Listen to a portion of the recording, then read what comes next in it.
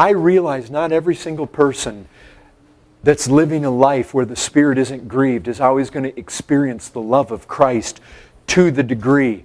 But I'll tell you this you will not experience it to that degree if the Spirit of God is grieved, nor will you experience it in lesser degrees. You will go dry, you will go cold, and you know it. Brethren, you know it. And if you see this kind of thing in your life, you need to repent. There's something in your life. You need to be done with it. You need to get rid of it. Brethren, I'll just end with this. Knowing the love of Christ is what makes us mighty as Christians. That's what feeds the joy. This is the heart. This is the soul. You do not want Christianity without this. Brethren, Howell Harris, Welsh preacher in the First Great Awakening. Love fell in showers on my soul. I could scarcely contain myself. I had no fear or any doubt of my salvation. Oh, brethren, when this rolls over us, full assurance is ours. Sometimes lack of assurance and struggles with assurance, they go but right back to this Holy Spirit's grieved. George Whitefield. well, more. Howell Harris says, I felt I was all love, so full of it that I could not ask for more. George Whitefield said, I myself was so overpowered with a sense of God's love that it almost took away my life. And I'll end with this. See, somebody's going to say, yeah, you've been talking about famous preachers. Yeah, but famous preachers are the ones that wrote. That's why we have their words. It wasn't just famous preachers, it was Jonathan Edwards' wife. You say, yeah, but she was the wife of somebody famous. Well, yeah, that's why we heard about it. But here's one. We don't even know her name. An unknown Christian woman. Christ knows her. She says, I was deeply penetrated with his presence and stood as if unable to move and was insensible to all around me. While thus lost in communion with my Savior, he spoke these words to my heart. Now, brethren, if you will just realize and grasp, this is the same love He has for you if you've come to Him in faith.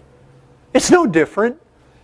She, with the Spirit delighted, not grieved, was empowered to hear His voice. But it's nevertheless true of you if you're redeemed, whether you hear his voice or not. But listen to this. While she was thus lost in communion with her Savior, he spoke these words to my heart All that I have is thine. I am Jesus in whom dwells all the fullness of the Godhead bodily. I am thine. My spirit is thine. My Father is thine, and they love thee as I love thee. The whole deity is thine. All God is and all he has is thine. He even now overshadows thee. He now covers thee with a cloud of his presence.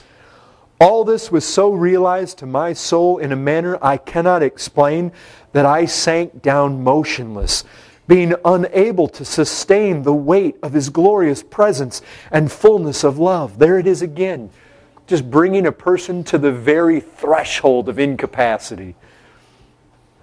I believe indeed, if this had continued as I felt it before, but for even one hour, mortality must have been dissolved and the soul dislodged from its tenement of clay. O love unsearchable to such a worm!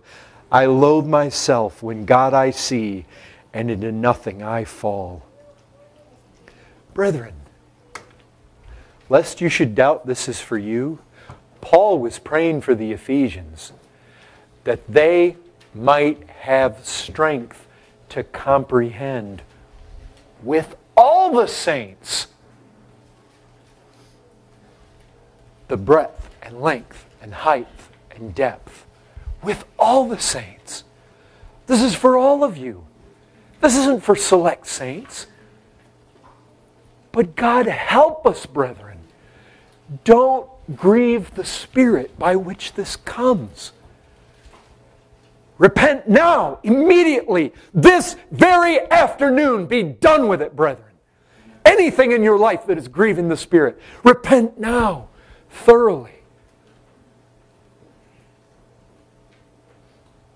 And press on to know the Lord like this. Oh, may God help us.